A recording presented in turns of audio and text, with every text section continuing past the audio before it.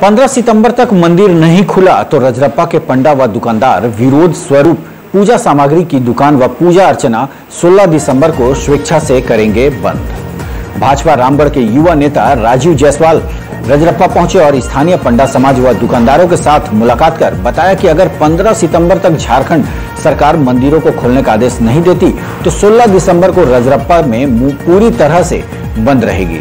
लगातार मांग के बाद भी सरकार इस ओर ध्यान नहीं दे रही है, जो बेहद दुखद है। देश के सभी राज्यों में मंदिर खुल गए हैं। ऐसे में हेमंत सरकार को मंदिर खोलने में आपत्ति क्यों है? आस्था और परंपरा के साथ खिलवाड़ किया जाएगा तो हम सरकार से भी लोहा लेने को तैयार हैं। इस दौरान पंडा समाज के लोग, दुकानदार, फल, फूल विक्रेता, नाई, नाविक ने सरकार के खिलाफ काफ़ी आक्रोश व्यक्त किया। मौके पर पूर्व भाजपा जिला अध्यक्ष चंद्रशेखर चौधरी, वरिष्ठ भाजपा नेता संतोष तिवारी और अन्य मौजूद थे। खबर तीन सौ पैंसठ न्यूज़ के लिए रामगढ़ ब्यूरो शिव शंकर तिवारी की रिपोर्ट। रजरप्पा के जो है दुकानदार लोग भी यहाँ पर हैं और सारे लोग हैं।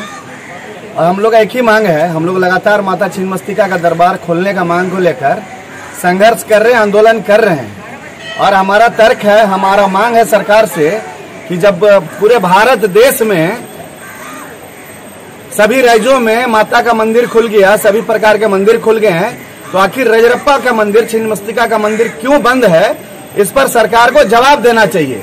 सरकार हम लोगों को आश्वासन दी थी कि 8 सितंबर का जो आपदा प्रबंधन समिति का बैठक था, उसमें सरकार ने आश्वासन दिया था कि 8 तारीख को मंदिर खोलने पर विचार करेंगे। लेकिन 8 तारीख को भी सरकार ने ढुलमुल नीति को अपनाते हुए आठ को भी निर्णय नहीं लिया और सरकार ने यह कहते हुए इसको टाल दिया कि सुप्रीम कोर्ट का जो जजमेंट है, सुप्रीम कोर्ट का जो निर्णय है, उसका अध्ययन करने के पश्चात जो है मंदिर खोलने पर विचार करेंगे।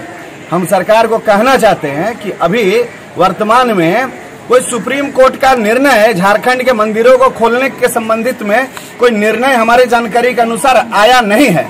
और अगर कोई निर्णय आया भी है तो सरकार को उस निर्णय को खोजने के लिए सुप्रीम कोर्ट जाने की आवश्यकता नहीं है। दिल्ली जाने की आवश्यकता नहीं है। आजकल ऑनलाइन का जमाना है। आजकल 4G का जमाना है। इक्कीसवीं सदी में हम लोग जी रहे हैं। तो चाहे वो सुप्रीम कोर्ट का निर्णय हो, चाहे सरकार का निर्णय हो, वो उसके वेबसाइट में उपलब्ध होता है और तुरंत जो है सुप्रीम कोर्ट का निर्णय, सरकार का निर्णय, उनके जो है वेबसाइट में अपलोड कर दिया जाता है। तो अगर सरकार को निर्णय की प्रति चाहिए और निर्णय का अवलोकन करना है, अध्ययन करना है तो सरकार अगर चाहेगी तो मिनटों में मिनटों में उनके पास, सरकार के पास सुप्रीम कोर्ट में लॉयर का पैनल है। हाई कोर्ट में लॉयर का पैनल है। और चाहेंगे तो मिनटों में वो नेट के माध्यम से सुप्रीम कोर्ट के वेबसाइट के माध्यम से निर्णय तुरंत उनके हाथ में होगा। लेकिन सरकार टाल मटोल की नीति अपना रही है, जिससे हमारे धार्मिक भावनाएँ और हमारा बहुसंख्यक समाज की भावनाएँ आहत हो रही है।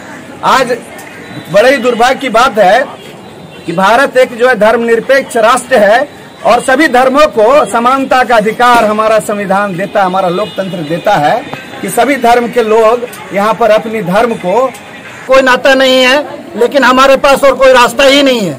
अगर सरकार, हमारा बस एक ही मांग है कि हम लोगों को जीवन यापन करने के लिए, सरकार माननीय हेमंत सोरेन जी से ये प्रार्थना है कि माननीय हेमंत सोरेन जी, आप मंदिर जल्द से जल्द खोले। परंतु, अगर सरकार 15 तारीख, जिस दिन आपदा प्रबंधन का पुनः बैठक होने वाला है, उस दिन हमारी मांगे नहीं मानती है और हिंदू धर्म भावना को देखते हुए रजरप्पा मंदिर और हमारे तमाम झारखंड के जितने भी मंदिर है उनको अगर नहीं खोलती है तो विवश होकर हमें 16 तारीख को महाजुटान करना होगा। पुनः रजरप्पा मंदिर में जितने भी संख्या, भारी से भारी संख्या, हम लोग आंदोलन में बैठेंगे, धरना देंगे, और ये यही नहीं रुकेगा। उसके बाद झारखंड का जितना भी हिंदू है, जितना भी धर्म से जुड़े हुए लोग हैं, जितना भी हिंदू है, सब आएँगे और सब रजरप्पा मंदिर में महाजुटान करेंगे। और माननीय हेमंत सोरेन से मैं पुनः प्रार्थना करता हूँ रजरप्पा मंदिर की ओर से रजरप्पा मंदिर के दस हज़ार परिवारों की ओर से कि माननीय हेमंत सोरेन जी हमें राजनीति से कोई मतलब नहीं है। आप कृपया करके हमारा मंदिर खोलने का कष्ट करें। अपडेट खबरों को देखने के लिए देखते रहें खबर तीन सौ पैंसठ न्यूज़। साथ ही लाइक शेयर और सब्सक्राइब करना ना भूलें।